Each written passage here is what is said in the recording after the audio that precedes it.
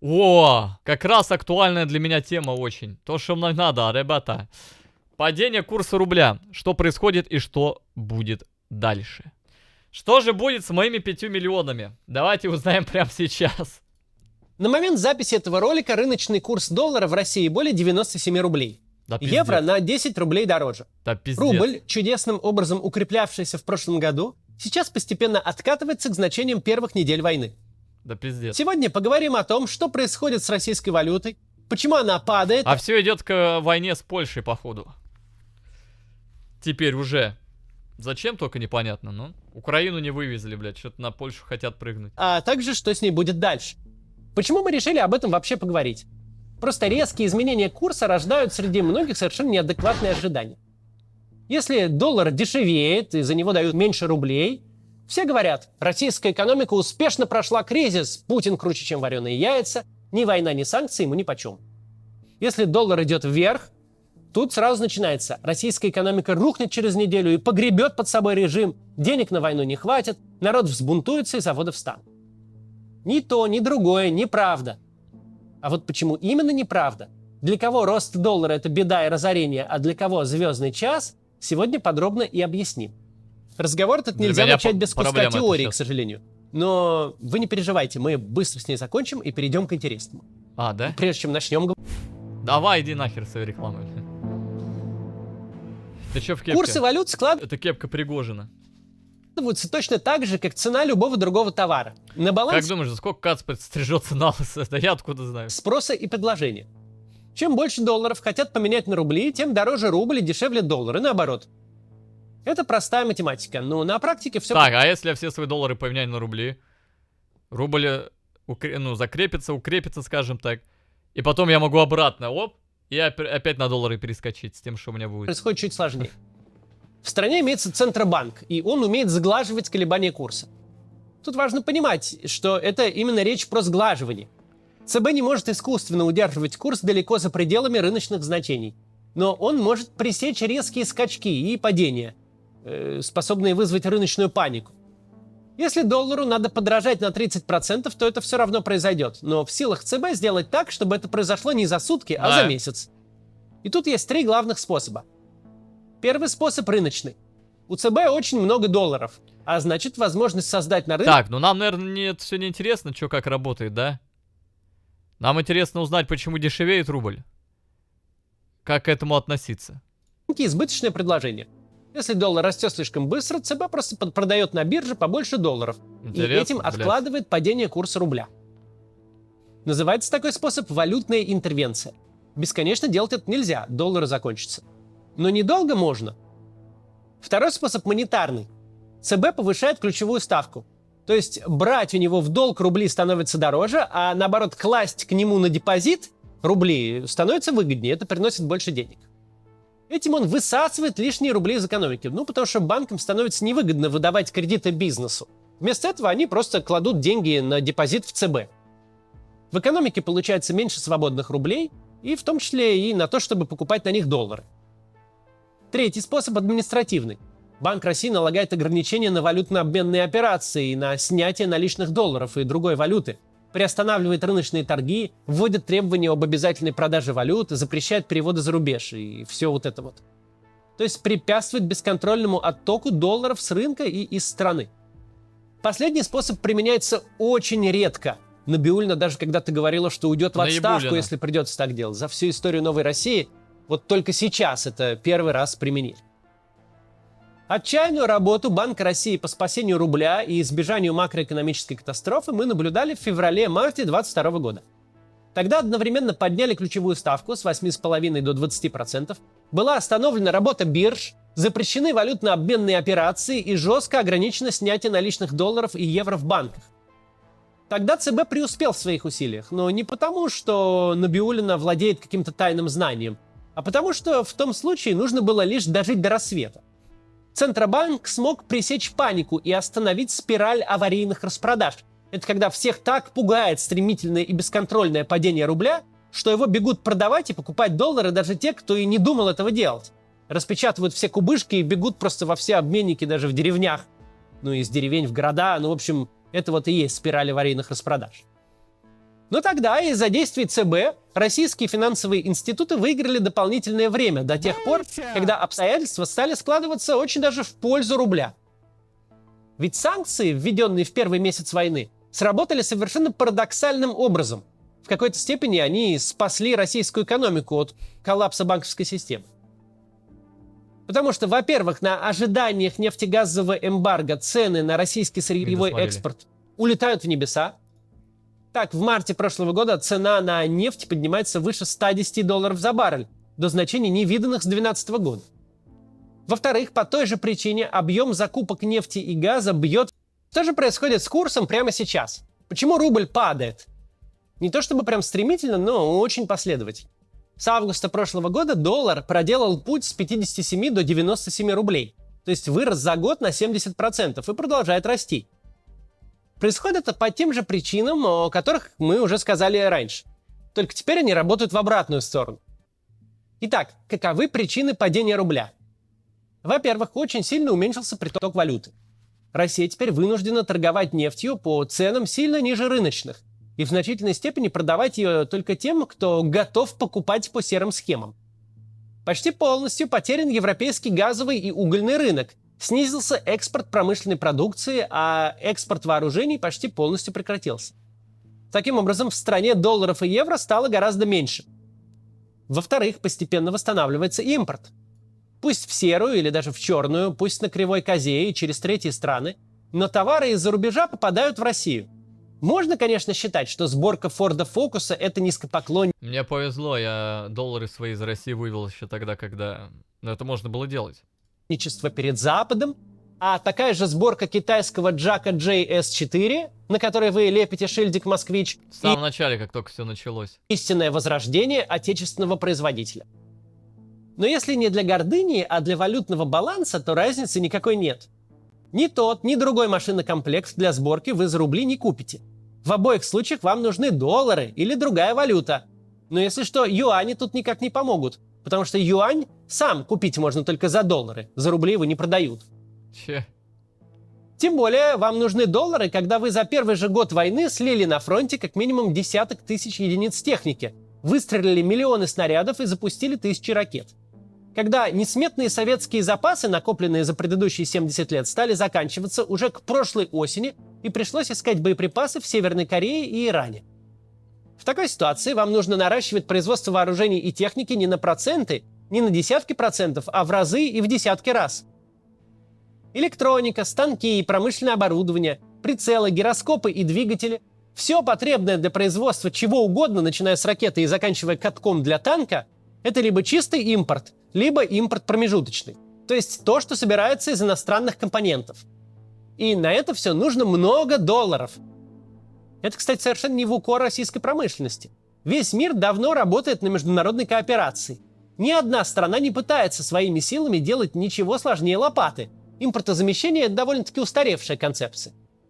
Но даже если вам прям очень надо сделать ну совсем отечественный станок для производства самого отечественного снаряда, то детали для него вы все равно будете точить на станке импортного производства.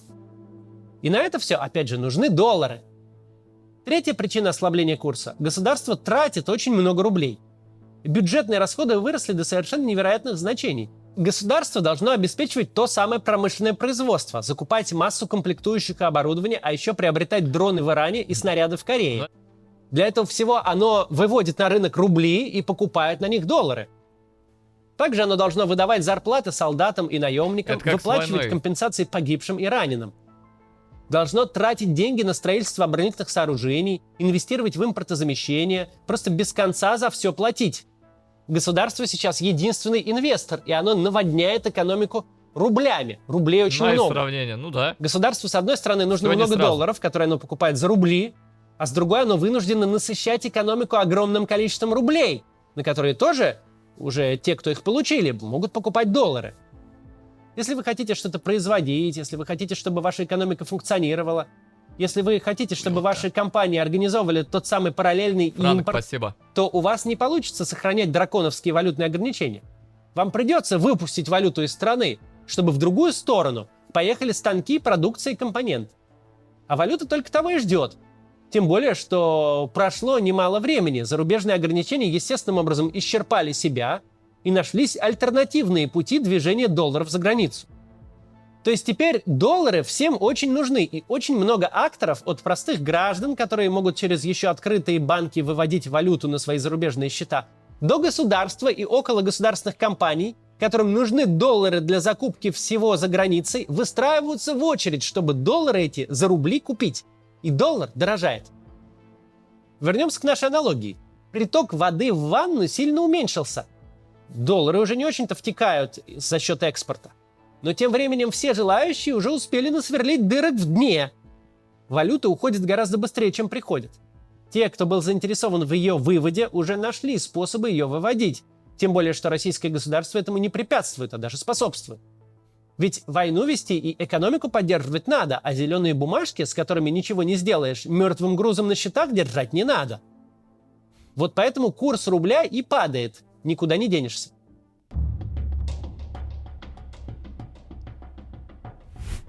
Теперь главный вопрос. Ослабление рубля – это хорошо или плохо? Для начала нужно понимать, что Плохо в России существует меня. рудимент, оставленный большими кризисами 90-х годов. Курс доллара для общественного восприятия – главный экономический индикатор. Реальные зарплаты, рынок труда, ВВП, состояние бюджета и резервов – это для большинства людей какие-то абстракции. Россияне смотрят только на курс доллара. Настолько внимательно на него смотрят, что с 2019 года в России официально запретили уличные табло с курсами валют. Сложно прям так сходу найти еще одну страну, где есть нормативный акт, запрещающий гражданам показывать на улице не насилие, не обнаженку, а цифры. Ну, Украина еще одна такая страна. Но вот еще одну найти очень сложно. Причины запрета, впрочем, понятны. Какая-нибудь рыночная капитализация российских компаний заботит лишь тех Ой. счастливцев, у которых есть сбережения и возможность их инвестировать.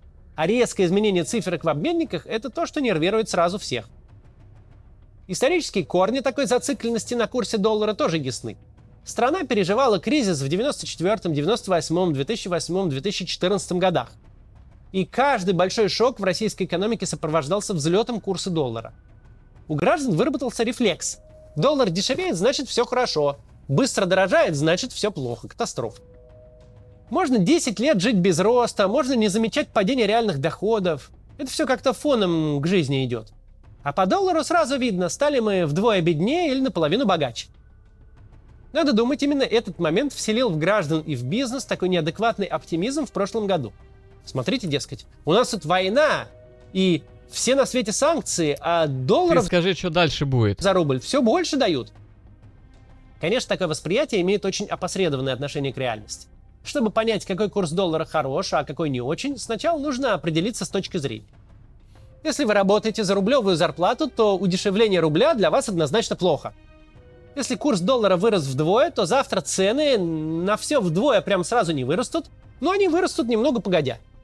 Почему? Сначала подорожает прямой импорт. Телевизор за 500 долларов по курсу 60 будет стоить те же 500 долларов и по курсу 100.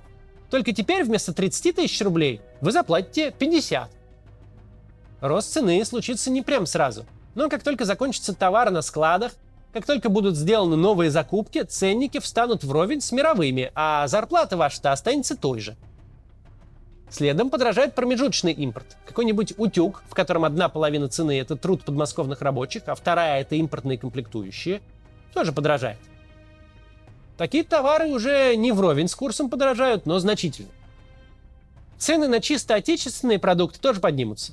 Не только потому, что при производстве, например, колбасы используется иностранное оборудование и импортные антибиотики для сельскохозяйственных животных, но и потому, что иностранные конкуренты этой колбасы очень сильно подорожали, что естественным образом приведет к тому, что продавцы отечественной колбасы тоже поднимут цены. В общем, с точки зрения рядового гражданина, удешевление национальной валюты – это плохо. Нет тут второго мнения. А вот с точки зрения экспортеров, то есть тех, у кого расходы в рублях, а доходы в валюте, снижение курса – это праздник жизни. Представьте, что вы торгуете алюминием. Алюминий как стоил 2200 долларов за тонну, так и стоит. Но год назад это было меньше 130 тысяч рублей, а сегодня это больше 210 тысяч. Ваш рабочий как получал 50 тысяч рублей, так и получает.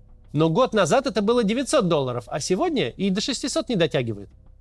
Грубо говоря, продав одну тонну алюминия, год назад вы могли заплатить зарплату только двум рабочим, а сегодня можете трем.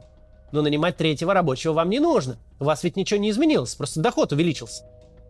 Курс доллара растет, доходы растут, а расходы падают. Ваши товары на мировом рынке становятся более конкурентоспособными. Потому что вы покупаете сырье, нанимаете людей, арендуете площади, платите взятки, в конце концов, за рубли. А продаете свой товар за доллары. Дорогой доллар вам супер выгоден. То же самое происходит, если вы правительство в сырьевой стране. Налоги с экспорта полезных ископаемых – ваш основной источник дохода. Полезные ископаемые вы продаете за валюту, а зарплаты бюджетникам, пенсии, подряды на строительство дорог и ремонт больниц вы оплачиваете в рублях. Давайте просто прикинем. 7 миллионов рублей компенсации за погибшего в августе прошлого года – это ровно 120 тысяч долларов. В августе текущего года те же 7 миллионов – это 72 тысячи долларов. Ну, вот и я в такой же ситуации сейчас. Цена жизни российского солдата для вас капитально снизилась что, несомненно, воспринимается вами как благо. Получается, что сам по себе курс рубля не показатель. Пока речь не идет об обесценивании на десятки и сотни процентов ежемесячно, то все в порядке. Пока не случилась макроэкономическая катастрофа, при которой деньги стоят дешевле бумаги, на которой напечатаны, по цифрам в обменниках не стоит строить ни оптимистичных, ни пессимистичных прогнозов относительно российской экономики. Есть. Имеет ну смысл где? анализировать не сам курс, а причины, которые привели к такому валютному балансу. А причины просты, как репа. Приток валюты в страну упал, потому что санкции работают, а отток вырос, потому что санкции не работают. ЦБ будет сглаживать колебания курса как может, но каких-то фундаментальных оснований для того, чтобы тренд изменился, не видно. Это не значит, что вам нужно немедленно бежать за долларами. Ведь валютные метания физических лиц, как правило, выходят им же боком. Это не Кулеба. значит, что мы предсказываем курс 150 за доллар к октябрю. Ведь предсказание курсов валют еще больше шаманизм, чем в случае с нефтью и акциями. Просто надо помнить, прошлогоднее укрепление рубля было аномалией, вызванной уникальным стечением обстоятельств. Сейчас все те же обстоятельства играют против рубля. Сам по себе рост курса доллара не мешает Путину вести войну и не угрожает стабильности его режима. Российский режим может себе позволить ослабление рубля почти в бесконечных масштабах, если только оно не будет резким и если не вызовет панику. Причем с большой для себя выгодой. Ведь все обязательства государства от финансирования войны до выплат пенсии существенно дешевеют в таком случае. Граждане при этом становятся беднее. Но это не политическая проблема для российского руководства. Ведь беднее они становятся не в один день, а постепенно. В первую очередь и сильнее всех ухудшение своего финансового положения начнет ощущать относительно состоятельное меньшинство. А малоимущие граждане, пенсионеры и бюджетники, то есть главная опора таких режимов, толком и не потребляют импорт, не ездят за границу и обнаружат дыру в своем кошельке очень нескоро.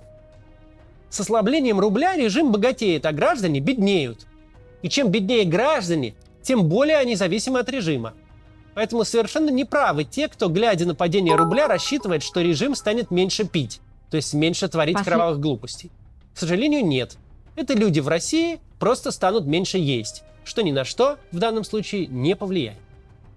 До завтра. Так ты чё, блядь, зачем это видео смотрел? Он не сказал, что будет дальше. Ой, Кац, обманщик, конечно, отписка, бля, дизлайк. Я смотрел видос. Что дальше-то будет? Никто не знает, что будет дальше. А почему он тогда видос назвал, что будет дальше? Вот в чем вопрос. А США, а в США, а США, а в США. Тут есть человечина и ц- США. А США, а в США, а США, а в США. Тут есть палки.